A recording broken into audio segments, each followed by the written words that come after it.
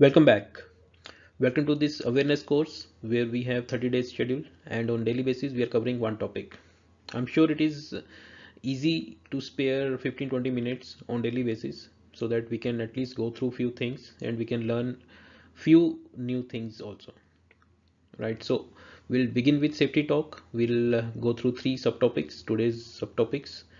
After these uh, explanations, then we'll go through the quiz we will have 20 MCQ questions along with correct answers. We'll have explanations also.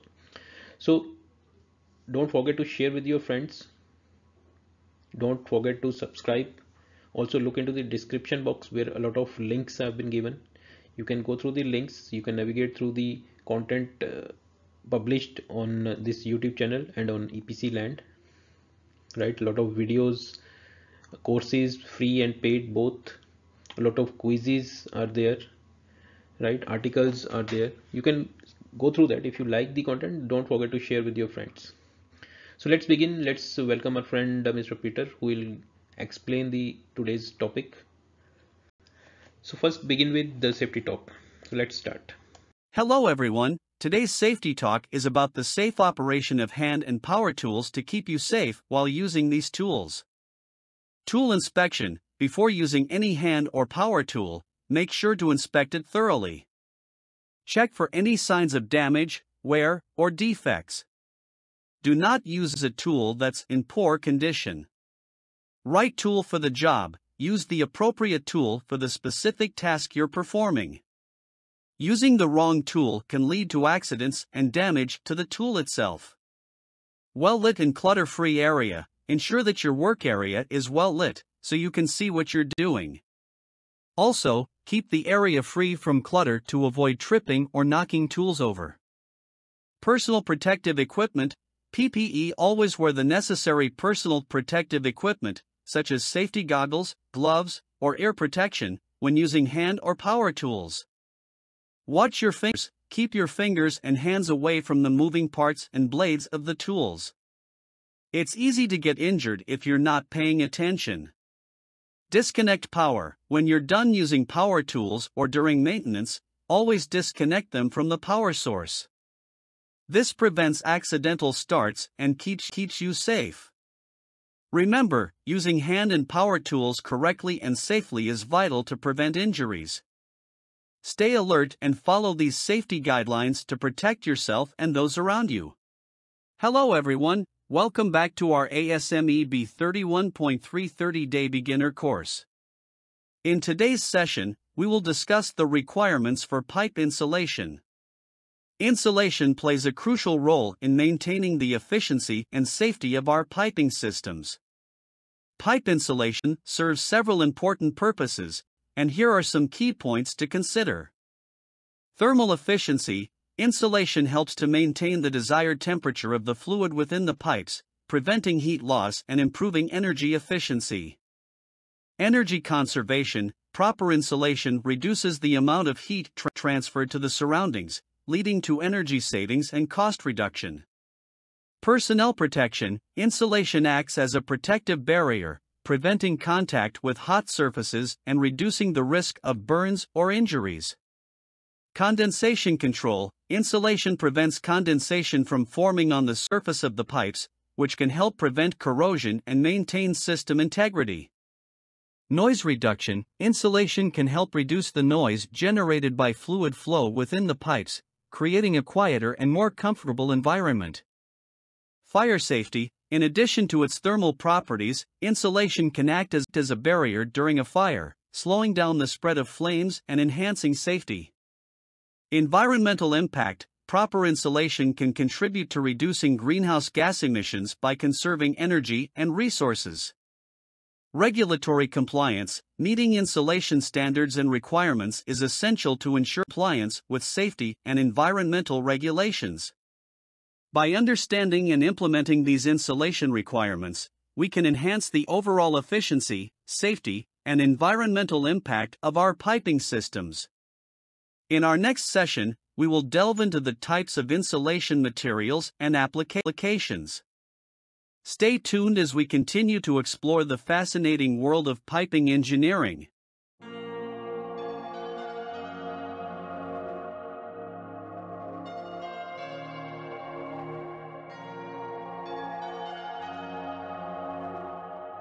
Hello everyone, welcome back to our ASME B31.330 Day Beginner course.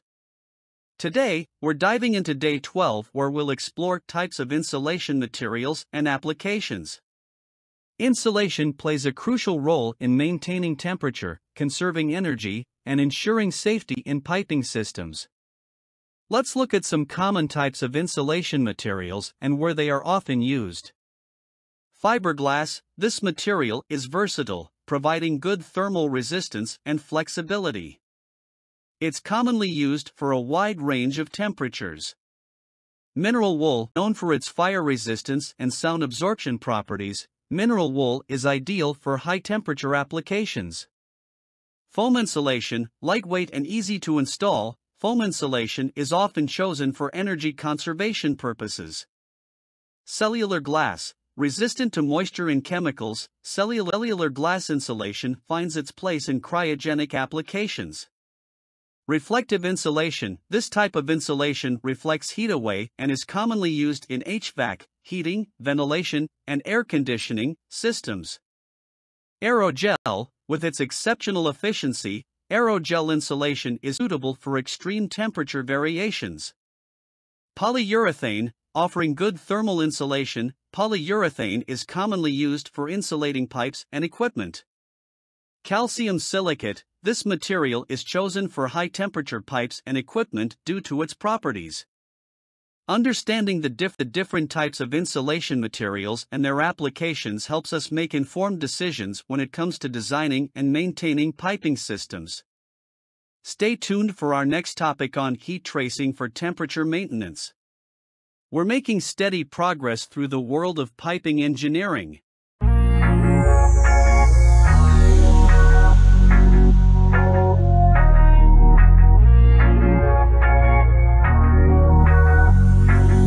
Hello everyone, welcome back to our ASME B31.330 Day Beginner course. Today, in Day 12, we'll delve into heat tracing for temperature maintenance. Heat tracing is a crucial technique to prevent freezing and maintain desired temperatures in piping systems. Let's explore the key points about heat tracing. Purpose Heat tracing is used to prevent freezing or maintain the desired temperature of fluids in pipes, valves, and equipment. Types There are two main types of heat tracing electric and steam tracing. Electric tracing uses electrical cables, while steam tracing uses steam pipes to maintain temperature. Installation Proper installation is essential. Heat tracing is wrapped around pipes, valves, and other components, following specific guidelines. Control Heat tracing systems include thermostats and, and sensors that regulate the heat output to prevent overheating.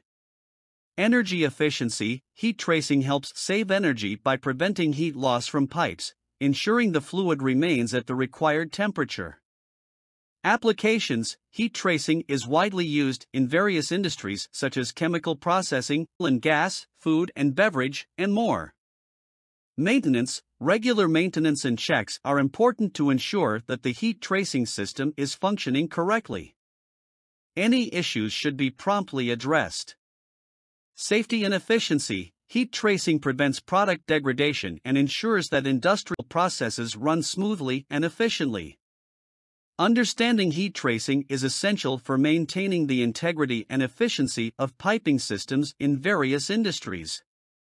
In our next session, we'll dive into preparing for pressure testing. Stay tuned as we continue our journey through the fundamentals of piping engineering.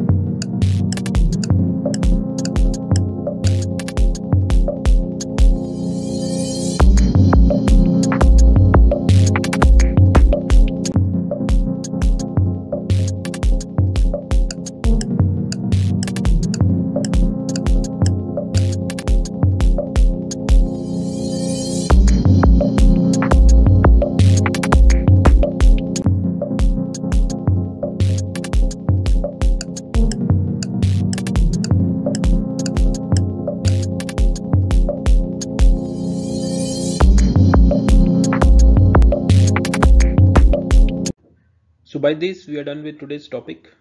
We had safety talk. We had a discussion on three subtopics quiz correct answers and their explanations.